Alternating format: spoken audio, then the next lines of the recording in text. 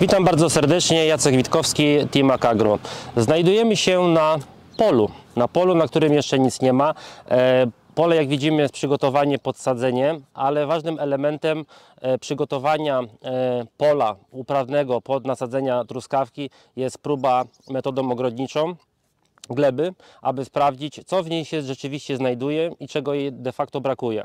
E, ważnym e, etapem w produkcji truskawki jest właśnie zadbanie e, o to, aby sadzonki, które będą e, tuż niedługo znajdowały się na plantacji, miały zawartość składników pokarmowych odpowiednio zbilansowano i w odpowiedniej e, wysokości, jeżeli chodzi o próbę glebową. E, Na tym polu robiliśmy badanie gleby metodą ogrodniczą. Tutaj było razem z mapowaniem pola. E, Wyszły również e, niedobory składników pokarmowych, nieduże, ale wyszły. E, Delikatna regulacja była pH, bo było ciut za niskie, ale przede wszystkim był problem z fosforem, ale również z wapniem odżywczy- odżywczym. E, Na tej plantacji został przed szykowaniem gleby został zaaplikowany nawóz Eurofertil Top 49 NPS w dawce 350 kg, aby właśnie e, uzupełnić te dwa pierwiastki, którym jest fosfor i wapń w glebie.